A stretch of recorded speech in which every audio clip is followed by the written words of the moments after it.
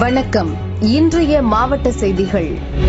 Kovai BST கல்லூரியின் உடற்கல்வித்துறை சார்பில் BST கோப்பைக்கான மாநில கூடைப்பந்து போட்டி நாற்பத்தி எட்டு ஆண்டுகளாக நடக்கிறது.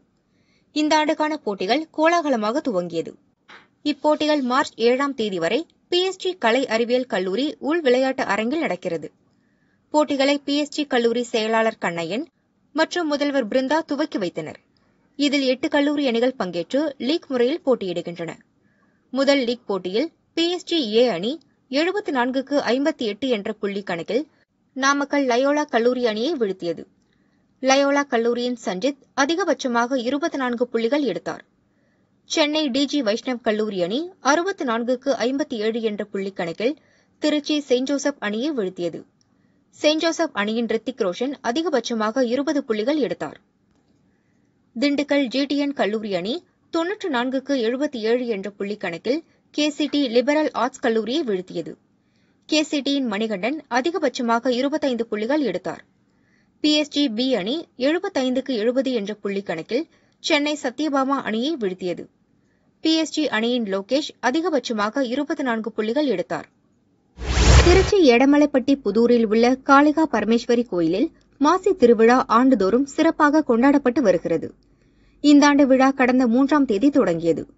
விழாவின் முக்கிய நிகழ்வாக பால்குடம் மற்றும் கரக உற்சவம் கோலாகலமாக நடைபெற்றது. கோரை ஆற்றிலிருந்து ஆயிரத்து ஐநூறு பால்குடங்களை பக்தர்கள் சுமந்து சென்று நேர்த்திக்கடனை செலுத்தினர். திரளான பக்தர்கள் பங்கேற்று அம்மனை தரிசனம் செய்தனர்.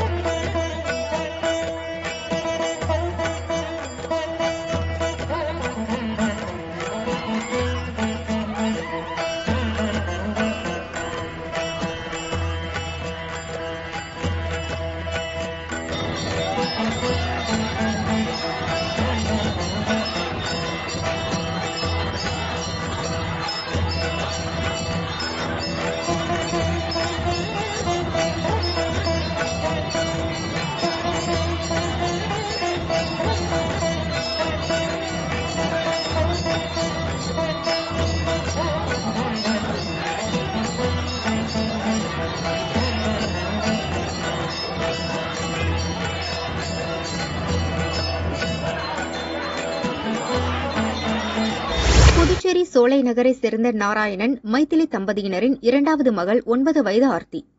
ஐந்தாம் வகுப்பு படித்தார். இவள் கடந்த சனிக்கிழமை மதியம் மாயமானார்.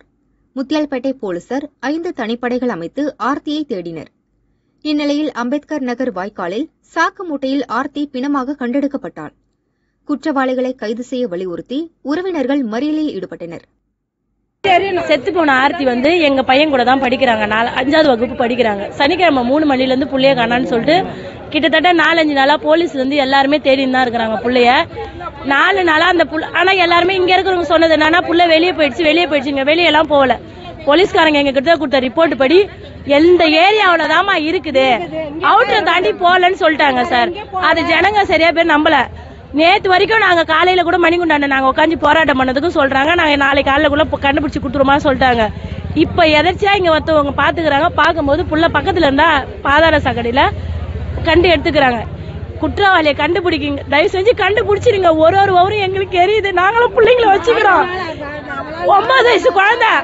அத இந்த மாரி சித்திரம் அதை பண்ணோம் நல்ல கதிக்கே கேட்ப மாட்டான் அரசாங்கம் நல்ல அரசாங்கம் விடக்கூடாது அவங்களெல்லாம்.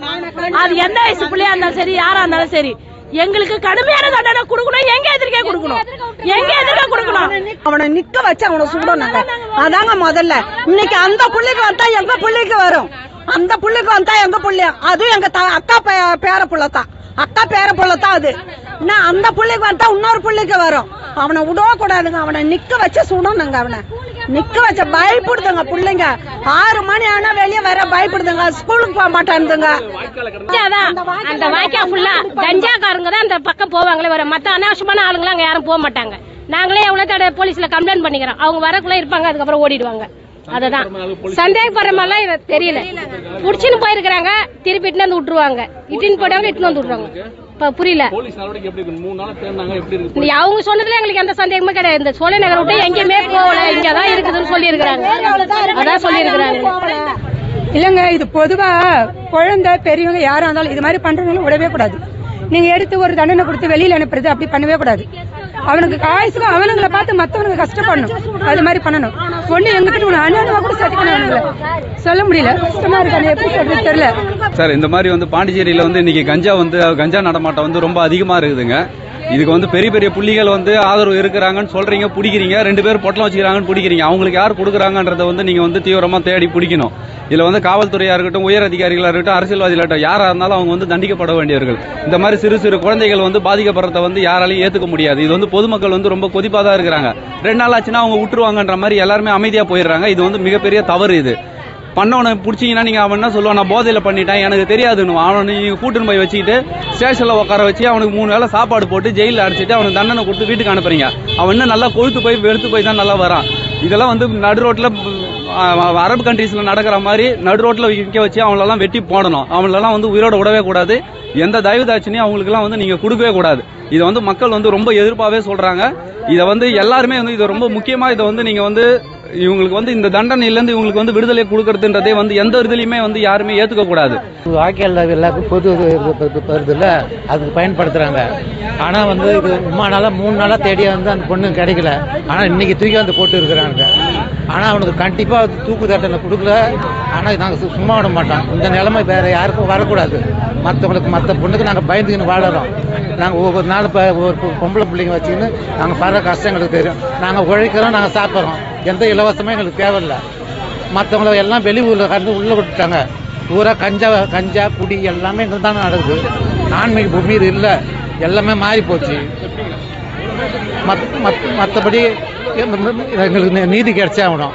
ஆனால் அவன் யாராக இருந்தாலும் பொம்பளையா இருந்தாலும் ஆம்பளையா இருந்தாலும் சரி உடனே தூக்குல போட்டு ஆகணும். கரூர் கல்யாண பசுபதீஸ்வரர் கோயிலுக்கு சொந்தமான இருபது கோடி ரூபாய் மதிப்புள்ள பத்து ஏக்கர் பத்தொன்பது சென்ட் நிலத்தை ரிச் இந்தியா ஹைடெக் சிட்டி என்ற பெயரில் பிளாட் போட்டு ஏப்பம் விட்டனர். இது தொடர்பாக அறநிலைத்துறை இரண்டாயிரத்தி இரண்டாம் ஆண்டு கோர்ட்டில் வழக்கு தொடர்ந்தது. விசாரணை நடத்திய கோர்ட் நிலத்தை அறநிலைத்துறையிடம் ஒப்படைக்க இரண்டாயிரத்தி பன்னிரண்டில் உத்தரவிட்டது. எனினும் நிலத்தை ஒப்படைக்காமல் ரியல் எஸ்டேட் நிறுவனம் இழுத்தடிப்பு செய்தது. இதையடுத்து அறநிலைத்துறை மீண்டும் கோர்ட்டில் நிறைவேறுதல் மனு தாக்கல் செய்தது. கோர்ட்டு உத்தரவுப்படி போலீஸ் பாதுகாப்புடன் கோயில் நிலம் மீட்கப்பட்டது. திருச்சி விமான நிலையத்திற்கு ஷார்ஜாவிலிருந்து ஏர் இண்டியா விமானம் வந்தது. பயணிகளின் உடைமைகளை கஸ்டம்ஸ் அதிகாரிகள் சோதனை செய்தனர். பயணி ஒருவர் தனது ஜீன்ஸ் பேண்டில் தங்கத்தை பேஸ்டுகளாக ஒட்டி கடத்தி வந்தது கண்டுபிடிக்கப்பட்டது.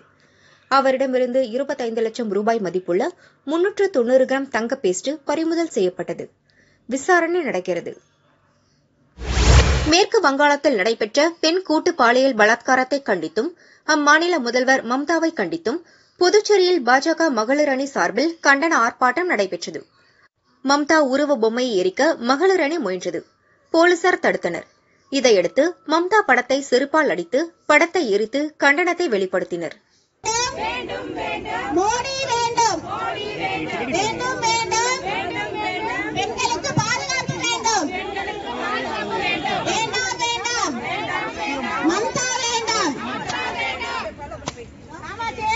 seguir.